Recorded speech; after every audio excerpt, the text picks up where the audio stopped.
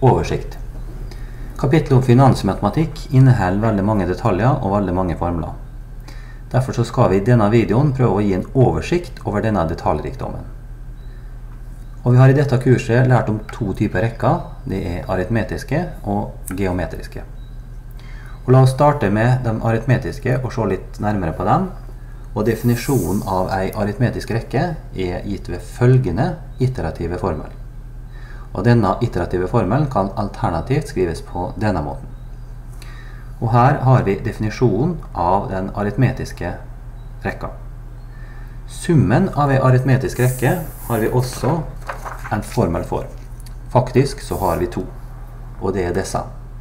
Og disse to formlene er helt likeverdige og alternative måter å skrive samme summen på. Her er summen skrevet ved hjelp av første og siste ledd, og her er summen skrevet ved hjelp av første og differensen. Og det er spørsmål om hensiktsmessighet om vi bruker det ene eller det andre. Så dette er altså summen når n er endelig.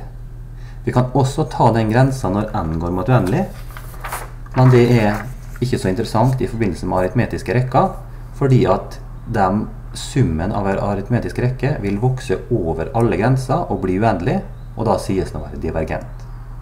Bortsett fra det trivielle tilfellet når A1 lik 0 og D lik 0, som bare betyr at vi har en sum av nullere som da trivielt blir lik 0. Et serielån kan beskrives ved hjelp av ei aritmetisk rekke. Og I den sammenheng så kan vi spørre spørsmålet hva er summen av total rente i forbindelse med et serielån? Og Det har vi funnet en formel for, og dette er resultatet.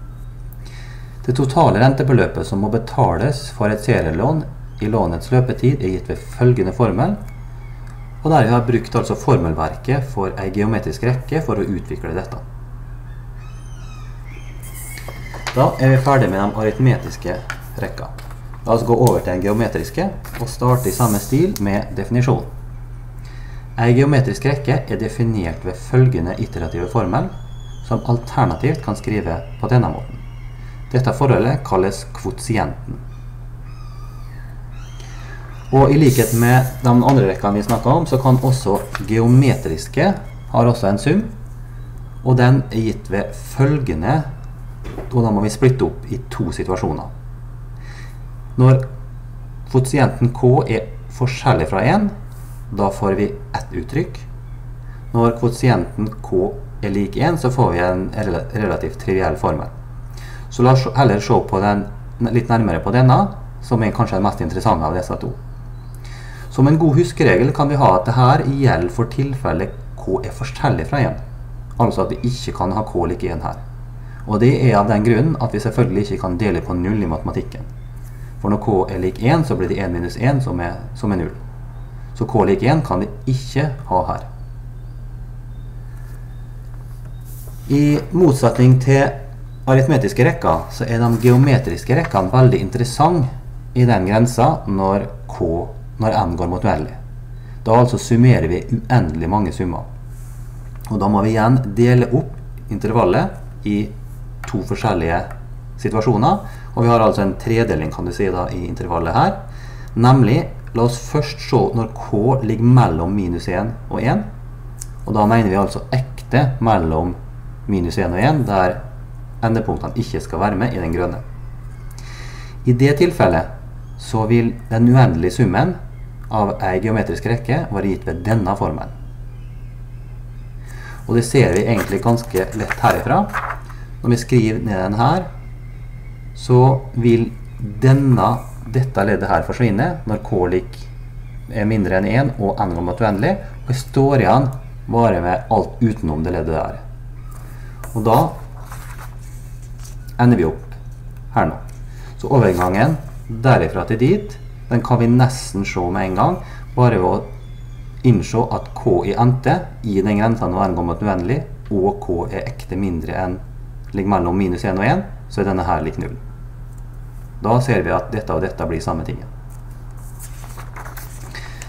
Når K er mindre enn minus 1 eller større enn 1, altså når vi er her på tallinja eller der på tallinja, da er summen uendelig, og den der divergerer. Så det er egentlig bare dette tilfellet som er interessant. Renteformelen er plassert her. Og Grunnen til det er at den er naturlig, hører naturlig til under en geometrisk rekke. Og renteformelen den er gitt ved følgende formel Kn er lik K i nullte 1 pluss R opphøyd i NT. Og det sier at dersom vi setter inn kapitalen K0 i banken og lar den være å forrente seg i banken i n terminer, så vil du da få kapitalen Kn etter n terminer. Så den har vi plassert her. Det vi kan gjøre, vi kan dele på både høyre og venstre side med akkumuleringsfaktoren. Og hvis vi gjør det, så får vi følgende formel, at da løser vi med hensyn på K0 i stedet for. Og jeg sier at det å komme seg derifra til dit er relativt enkelt, for som sagt, vi bare deler på 1 pluss r i nt på begge sider, og da kommer vi hit. Så disse to formlene er egentlig en og samme formel. Men her har vi løst med hensyn på K0, eller nåverdien om du vil, alene. Mens her er det altså Kn som vi har løst. Så derfor har vi plassert nåverdien her og renteformelen der.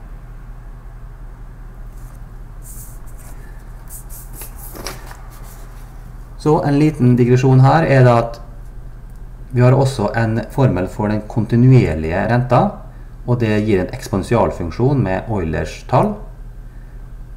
Og den har vi også en, en setning for, og den har vi utledet i en tidligere video. Så den hører, naturlig med her når vi får kapitalisering av forrentninger på en kontinuerlig måte. Så for å utlede den, husker vi en tidligere video, så starta vi med renteformelen, og så endte vi opp her. Derfor er denne formelen plassert akkurat her i oversikten. Så et annuitetslån det, det er beskrevet ved hjelp av en geometrisk rekke. Og I den sammenheng så har vi utledet fire forskjellige størrelser. Og La oss se litt nærmere på dem. Den første er oppsparingsannuitet.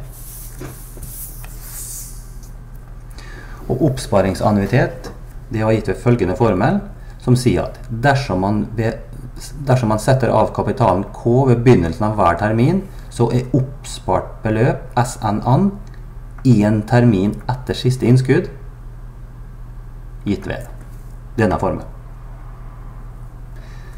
Der er altså K er sparebeløpet per termin, og vi har det samme beløpet hver eneste termin. Og N er antall terminer, og R er renta. Dette her er nesten den samme formelen som den her, men ikke helt.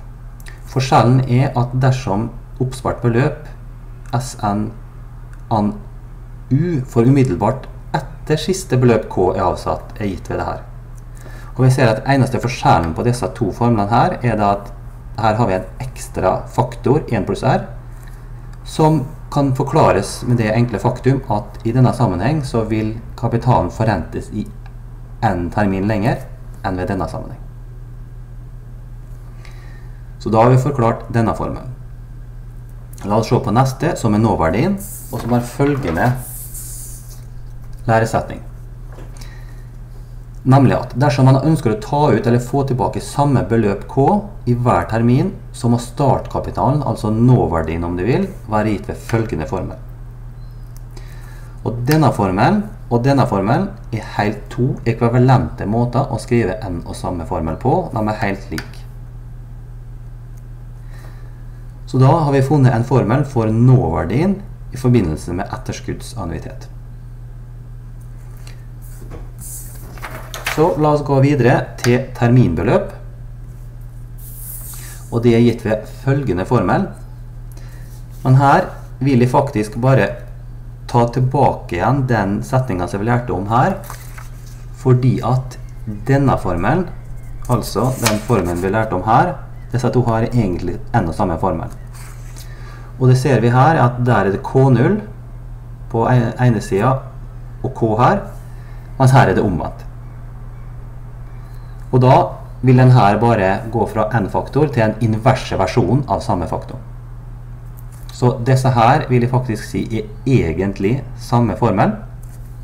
Men for oversikten sin del så har vi delt det inn i to forskjellige situasjoner her. Og selvfølgelig, det her er også helt analogt.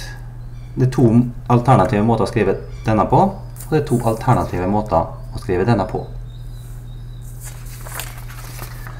Og til slutt så har vi et uttrykk for summen av rente forbindelse med et annuitetslån. Og den ser sånn ut. Nemlig at det totale rentebeløpet som må betales for et annuitetslån i løpet av lånets løpetid, er gitt ved følgende formel. Så der ser vi at vi har samme formelverket for de to forskjellige lånene, altså både serielån og annuitetslån har en renteformel, mens annuitetslån har mye flere formler også, så her er det mye mer detaljrikdom, både når det gjelder her oppe med kontinuerlig rente og nåverdi, og her nede når det gjelder oppsparing, nåverdi og terminbeløp.